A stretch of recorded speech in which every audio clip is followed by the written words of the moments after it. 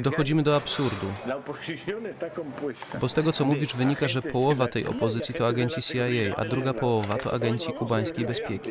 To jest teatr absurdu, to jest Kafka. Tak, to jest Kafka. To jest Kuba i Kuba taka jest.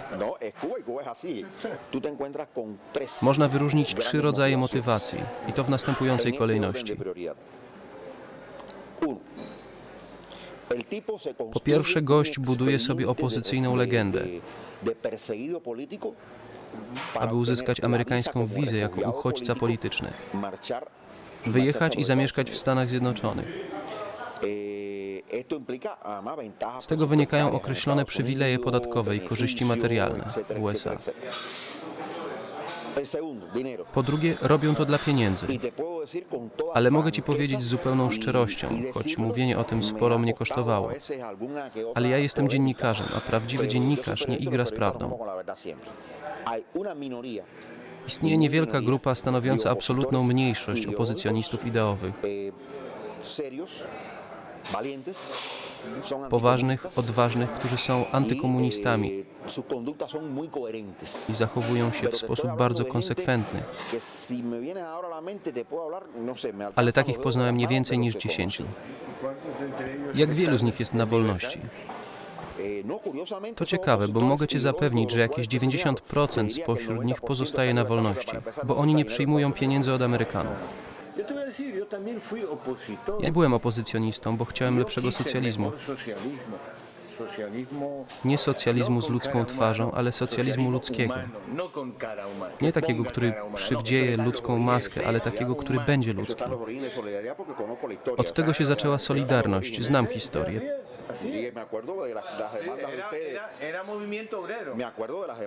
Pamiętam postulaty gdańskie. To był ruch robotniczy, ale jedyny postulat, jaki spełniono, to msza w radio. Rewolucja kubańska musi się zmienić, bo bez Fidela nie może się nie zmienić. W tej chwili przywództwo Fidela może być zastąpione jedynie przez instytucje.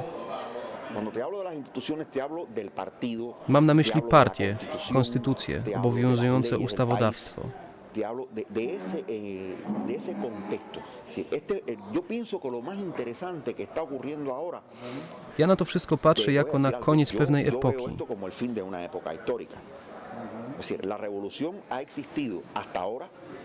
Jak dotąd rewolucja istniała dzięki charyzmie przywódcy. Co do tego nie ma wątpliwości. El dato está en que ese liderazgo carismático tuvo la sabiduría o ha tenido la sabiduría Chodzi o to, że ten charyzmatyczny przywódca okazał się na tyle mądry i przewidujący, żeby zapewnić rewolucji ciągłość. no I to niekoniecznie za pomocą osób jednostek, lecz właśnie dzięki instytucjom.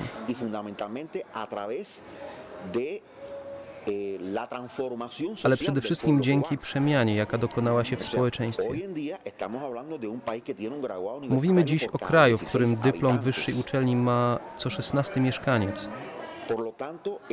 A zatem ci ludzie myślą już zupełnie inaczej. Y To oznacza, że istnieje pewna zbiorowa mądrość. Parlamentaryzm przy istnieniu jednej tylko partii być może jest możliwy, ale po co? Czy nie lepiej, żeby po prostu rządziła partia?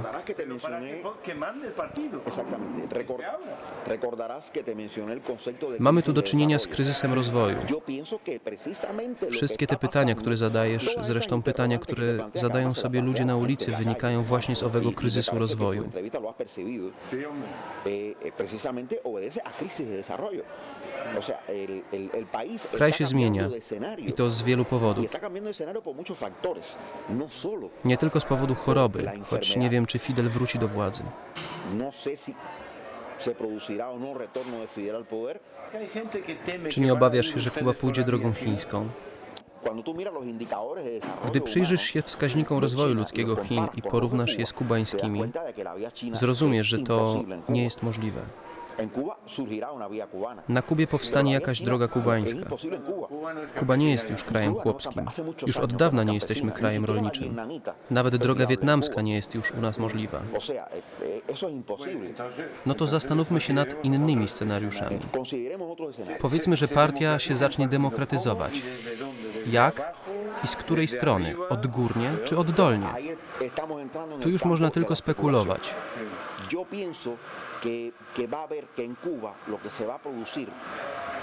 Myślę, że na Kubie dojdzie do połączenia drogi reform odgórnych i oddolnych. Niedawno wydarzyło się coś bardzo ciekawego. Jest w historii kultury kubańskiej okres zwany szarą pięciolatką. To było gdzieś w latach 1971-75.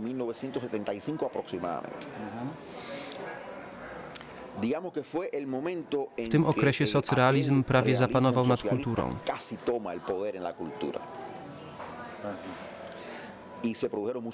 Wyrządzono wiele krzywd. Jednak udało się ten problem rozwiązać w ramach istniejących instytucji. Problem zniknął. Do tego stopnia, że o nim zapomniano. Kultura była cenzurowana. Mało powiedziane. Nie tylko nie wolno było grać Beatlesów, ale w ogóle zakazane były piosenki śpiewane po angielsku. Do tego doszło. Prześladowano intelektualistów orientacji homoseksualnej. W kraju, gdzie środowiska homoseksualne były niewyczerpanym źródłem twórczości artystycznej. To wszystko działo się naprawdę. Nie wiem, komu przyszło do głowy puszczenie trzech programów telewizyjnych będących hołdem dla trzech głównych cenzorów. Byli zawodowymi cenzorami? Nie. Nie tylko działali w takim charakterze. Pojawili się znowu w telewizji po 30 latach przerwy. Aż pewnego dnia wystarczył jeden e-mail wysłany przez uznanego intelektualistę kubańskiego, aby rozpętać powszechne protesty wśród intelektualistów. Una protesta generalizada entre los intelectuales. Eh, se cruzaron correos de todas partes. Ocurrió algo muy Zaczęła się ożywiona korespondencja w internecie. Co ciekawe, głos zabrali też intelektualiści kubańscy mieszkający za granicą. W internecie rozgorzała wielka debata. Doprowadziło to do tego, że minister kultury oraz Związek Pisarzy i Artystów Kubańskich postanowili zorganizować publiczną debatę na ten temat.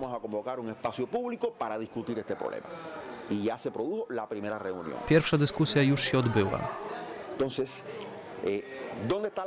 Na czym polega słabość?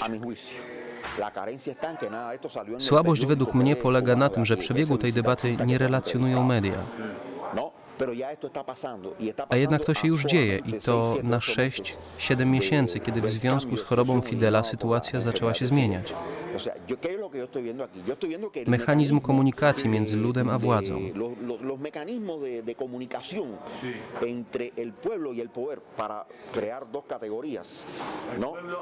Ludem artystycznym?